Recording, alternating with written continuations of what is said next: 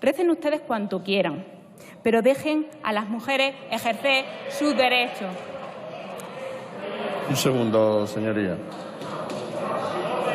Señor Sánchez García, le llamo al orden y le pido que retire lo que acaba de decir. Un segundo. Un segundo, por favor. Un segundo. Esta señora, desde que ha tomado la palabra, no ha dicho si. Señoría, le llamo al orden por segunda vez. Le reitero que retire lo que acaba de decir. Dígame simplemente sí o no. Por segunda vez le llamo al orden.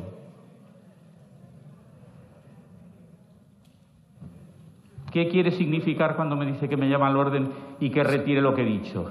Que diga usted si lo retira o no lo retira, por favor. ¿Pero qué significa que lo retire? Que lo retire para que no conste en el diario de sesiones lo que acaba de decir públicamente y que he escuchado prácticamente todo el hemiciclo. Retírelo, por favor.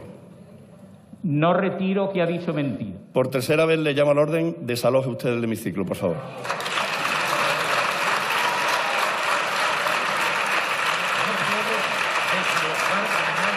que no está alterando el orden. Está diciendo simplemente que no lo retira. No Desaloje el hemiciclo, por favor.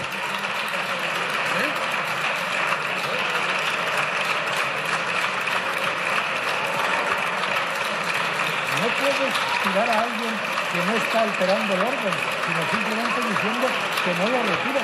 Es una actuación arbitraria. Claro.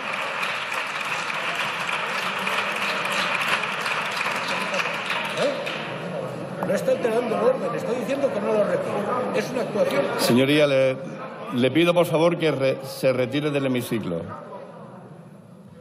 Por llamar, como dice el reglamento, tres veces al orden, por favor. No, no, pero no ha alterado el orden. No le puedes llamar al orden porque no ha alterado el orden. Ha dicho solo que no lo retira. Luego es una actuación arbitraria.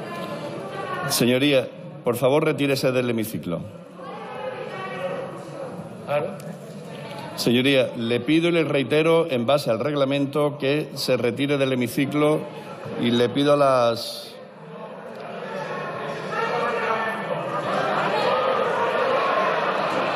Por favor. Sectaria y arbitraria. ¿Eh? Porque no se puede expulsar. Muchas gracias, señoría. Muchas gracias. Continúe, señora Berja. Ha pedido la palabra. La tiene la señora Berja. Continúe, por favor. Presidente.